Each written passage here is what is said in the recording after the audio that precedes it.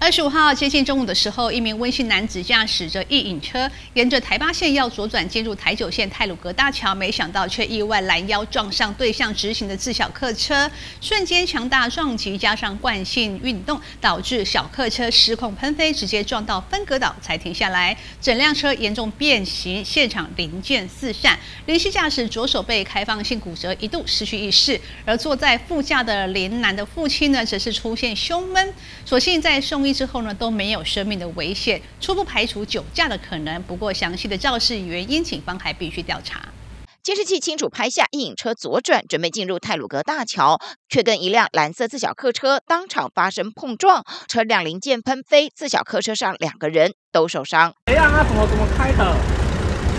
大型拖吊车出动前往现场，自小客车毁损严重，车门严重变形，保险杆也被撞坏。事故就发生在二十五号上午十一点多，当时一影车沿着台九线行驶，却在泰鲁阁桥头跟一辆自小客发生碰撞。在欲左转进入泰鲁阁大桥南端时，不慎与年约二十六岁林男所驾驶的自小客车发生擦撞，造成。林男左手背撕裂伤，坐于